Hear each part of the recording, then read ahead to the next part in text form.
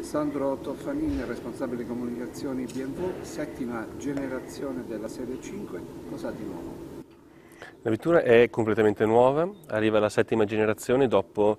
eh, anni di successo, la serie 5 nasce nel 72 e dal 72 a oggi sono state vendute a livello mondiale ben 7 milioni e 900 mila veicoli. La nuova serie 5 introduce parecchie novità a partire dalla scocca, quindi una scocca è completamente nuova sia a livello di eh, materiali utilizzati che permettono di ridurre il peso fino a 100 kg, sia a livello di sospensioni, quindi per garantire quell'aspetto di eh, dinamica e sportività che sono tipici del marchio. Questa vettura in particolare riesce a unire due aspetti apparentemente molto contrastanti, che sono l'aspetto di, appunto, di sportività a un aspetto di comfort degli interni che adatti per una clientela business a cui la vettura è dedicata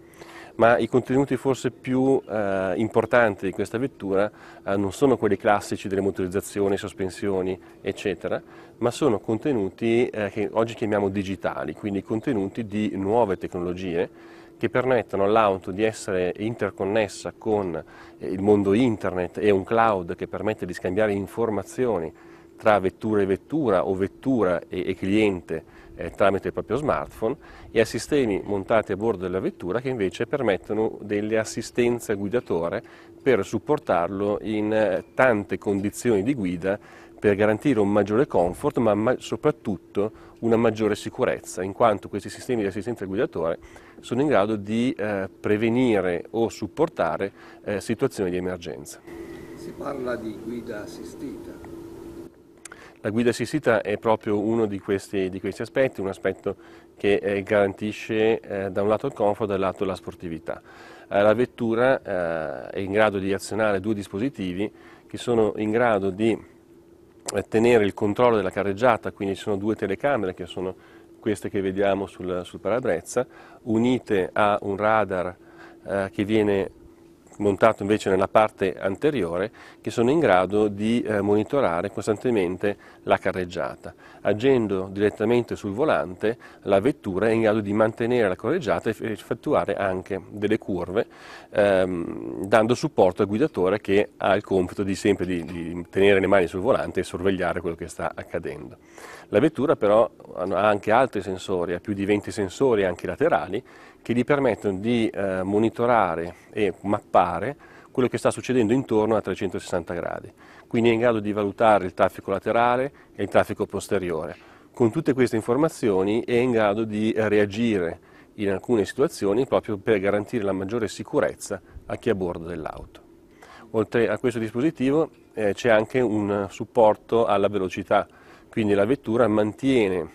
attaccandosi alla, alla, vettura che precede o avendo un limite massimo impostato, a mantenere una certa velocità e reagire anche sul freno e sull'acceleratore per mantenere quella velocità. Si può arrivare a casi limiti, limite in cui in condizioni di traffico eh, la vettura è in grado di seguire il flusso di traffico arrivando a uno stop and go vero, quindi a fermare il veicolo, farlo ripartire e gestire lo sterzo per mantenere la carreggiata. 2020 cosa succederà? Questi dispositivi, atti oggi a un'assistenza al guidatore che sono eh, destinati a migliorare la sicurezza, eh, porteranno a qualcosa un domani leggermente diverso in cui si parlerà di guida autonoma, quindi di eh, sistemi che riusciranno a in qualche condizione sostituire il guidatore. Parliamo di tempi eh, un, po', un, po', più in là, ma neanche così tanto, parliamo di, del 2021 o, o insomma quegli anni. Si parte da quante allestimenti, da quanti allestimenti e soprattutto i prezzi. La vettura è già disponibile in concessionaria a partire da 50.800 euro eh, con diversi allestimenti ehm,